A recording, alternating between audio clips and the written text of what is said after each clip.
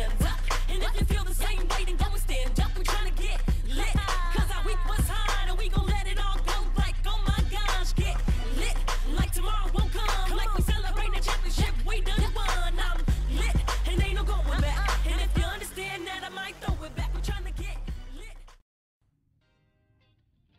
What's up, y'all? It's your girl, Pinky Lee Simone, Charlotte's very own, the princess of the QC. You know where you at, Next Grind, your source of music, entertainment, and our community grind. I'm gonna start off with some history. This week in history, in 1852, fugitive slave Frederick Douglass gave his To What a Slave is Fourth of July speech to the ladies of the Anti Slave Society in Rochester. As you know, many African Americans don't celebrate the 4th of July Independence Day because when this country was celebrating their independence and their freedom, we didn't have ours. Now, me, I was at the cookout. However, do you? There go your little fact. Enjoy. For this week's Facebook fail, I am so tired of y'all being on my timeline trying to get me to buy or join your little sales cult for something you didn't even try yet. Now I'm gonna need you to try it and let me know if you yourself got results before you try to pick me up and get me in. Now, cause I know you. I know what your stomach looked like before that. Now, I know if your hair grew or not, or if that's the weave. And I know if that bra helped you get their lift or you got them done. I don't want the girl on the package. I want you. Otherwise, if you didn't get no results, get your behind off my timeline. That's the work of the devil trying to trick me. I ain't buying it.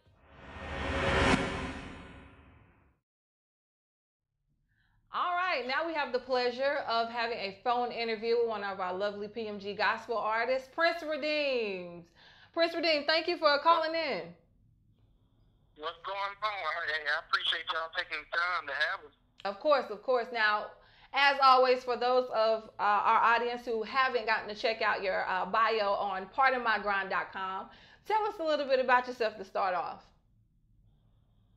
Well, man, I was pretty much born and raised in a single parent home. My my uh, dad, uh, he he went to prison when I was three years old. He went to prison for murder. Um, Mm. he pretty much he murdered my stepmom. You know, I still remember being, you know, what I'm saying being around at that time. But you know, when she left, you know, I pretty much grew up, you know, trying to find who I was and identify myself, running around in the street. Um, you know what I'm saying? I was born and raised uh, actually in Judson community um, in Greenville, South Carolina, you know, with my mom, my grandma. And, you know, long story short, you know, my grandma passed and, you know, it just made me get crazy. And I just, you know, started running around in the streets and trying to Mhm. find who I was, you know what I'm saying? And, you know, just, I think it was like almost three to four years ago, um, I actually was homeless. I was in Jacksonville, Florida, and I was homeless and you know what I'm saying, and and uh, that's when I identified. It was in the midst of pain that I was able to identify who I really was, and you know I came back from that, and you know I haven't looked back since, and you know what I'm saying I just been trying to do music to to help. You know what I'm saying? Anybody else who may be going through something, try to uplift them, you know what I'm saying? So that's just pretty much, I, I'm be writing a book soon, you know what I'm saying? I'm be writing a book. I got to get started on it, but it's going to sum up my life story, you know what I'm saying? So, Gotcha, gotcha. Now, with you being in the gospel genre, what would you say are some of the biggest challenges with also being an independent artist? man, um, I would say, you know, getting the opportunity to be heard, um, you know, and and getting unified. You know what I'm saying? Having Right. unity. You know what I'm saying? Just because I'm in the the gospel sector, you know what I'm saying? It's still you still we still battle the same thing that any other genre uh, uh goes through. You know what I'm saying? It's Sure. that that unity thing. I don't know. It's like that's the biggest thing, and I and honestly, I see that as the biggest challenge down here, in the, in, mainly in the South. Um, Yeah. Not so much as Atlanta because Atlanta got it. It just seemed like it's South Carolina. You know what I'm saying? South Carolina, you know, there don't too many people want to see you get ahead. You know, and I think Mm. they fail to realize that sometimes it's not you. You know what I'm saying? It's the gift that was given to you that makes the way for you. Right. You know what I'm saying? It ain't you doing it yourself. It's the gift that was given. So I think it's the biggest challenge is, is, is unity. Okay, now that that'll preach right there. That was the word. So, who are your biggest influences in your genre? Man, uh, got got quite a few of them, but I can I can say this outside of of music.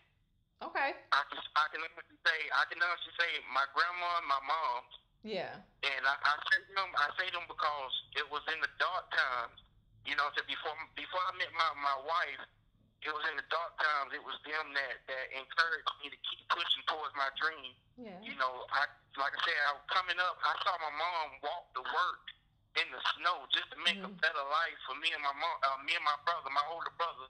You know what I'm saying? So seeing that, it gave me a ground to want to pursue my dreams. My mom, she she, she started out uh, with a GED, and she went back got her GED, and she went back and graduated. Uh, she graduated college, and she passed the state board. She's a registered nurse now right. and she went back and got a master's degree now. You know what I'm saying? So Yeah. seeing that, so You got strong people behind you. But within the music, I can say Canton Jones, I can say Lecrae, uh, Trip Lee, um, Bizzle. You know what I'm saying? It's you know some of the the, the uh, ones who've been doing it, the pioneers, and then the ones that's coming. You know what I'm saying? Is Yeah. uh, constantly putting music out that we can constantly listen to. Got you. Got you. So those are your influences. What do you think you add to the gospel genre that's different than what we've heard before? Uh, versatility. Okay. You know what I'm saying? Uh, I think being able to, you know what I'm saying, be be versatile and not just put yourself in one box. You know what I'm saying? Like, if you listen to my music, my music, like sometimes people tell me like we don't know how to categorize it, you know, and I and I love that. I don't do it on purpose. I just be me. When I go in the studio, I'm just being me. Like sometimes I got I got songs that where I wrote and you know I didn't I didn't mention God name. Nothing against God, but it's the feeling that I feel in that moment when I'm listening to that beat. I'm I want to capture that like a like a Kodak camera. I want people to feel what I was feeling in that moment.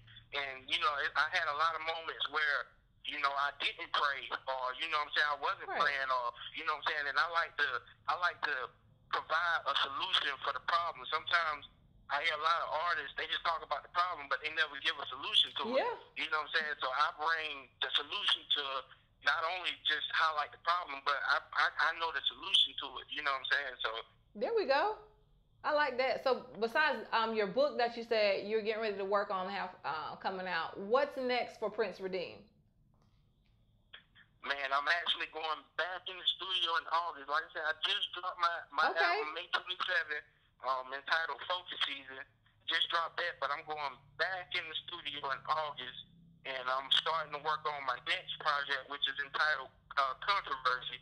And you know, I'm I'm releasing that that title now, and you know, I wanted to wait till I was with y'all and let y'all know first. You know, Right. what I'm saying? 'Cause not too many people know. right. Like, Gotta give Next Grind the just and exclusive. How I grind, like you know, my work my work ethic is is I love to stay right and like like coming up when I I'm gonna say this real quick. Okay. And when I was listening to the secular world, my main influence was Tupac, and I read his book There we go. and how he prepared himself. You know what I'm saying? He just wrote, he wrote, he wrote, he wrote, he wrote. Like Yeah. I got like three or four notebooks full of songs already written. So, you know, when I go back in the studio, like my next album is already done. Oh, you know okay. what I'm saying? Good. So then we got our clothing line, me and my wife, uh, we got our clothing line that we getting ready to re- uh, release. So, you know, we, it's, I mean, the list goes on. I know that's right. So where can we find this? Give us all your outlets, your social media, your website. Let the people know how to reach you. Uh, first is my website, www.princeredeem.com. You can go in there and, and uh, purchase the album from there, Okay. or you can inbox me on Facebook. On Facebook, I go by my, my government name, which is Dazon Nelson, D A Z O N Nelson. You can inbox me there, and I, we can uh, make a transaction there, or you can uh, look up my wife, Jenisha Nelson, J E N I S H A Nelson. uh, inbox her, and you know, which my wife is my manager, my publicist, my lawyer. She handles everything. Anything you see No, going right. on with Prince Redeem, Redeem Nation is, is is all my wife. I'm just the sound and the vision, and she the multiply and bring that thing to pass. But, Behind every great man. It's always that great woman. Right. I wouldn't I wouldn't be me without her. So I gotta hey, she number one. And of course, you can catch Prince Redeem at pardonmygrind.com. Thank you so much for calling in. This was great. Thank y'all. Thank y'all. Y'all have a blessed day. You too.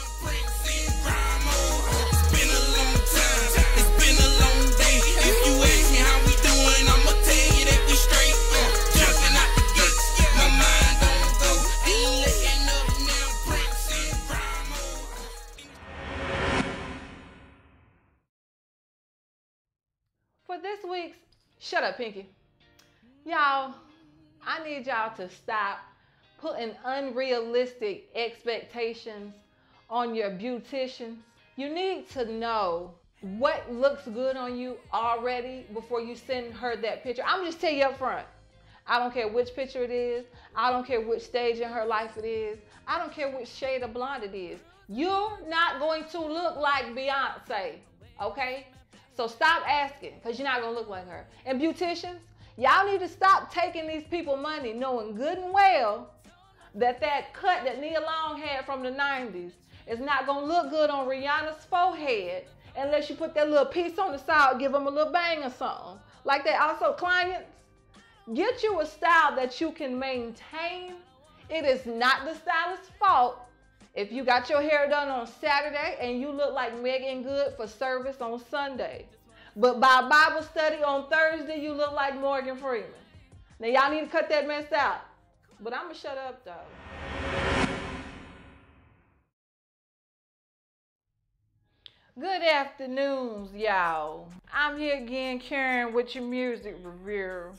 Now, this week, I was listening to Hitman That's money in Spanish. Yeah, y'all didn't know I speak a little stuff, but I do.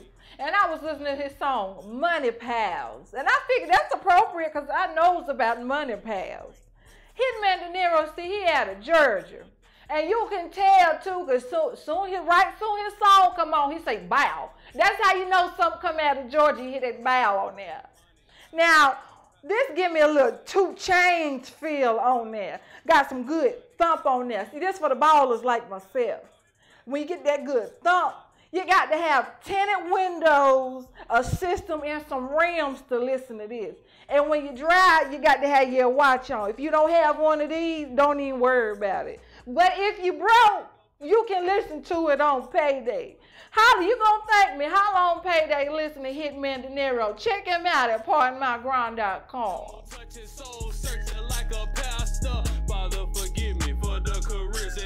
to destroy. Sick on they temple, make them a whole kilo or boy. Counting up boy, it feels so overwhelming. Who I'm connected with, you know I'm not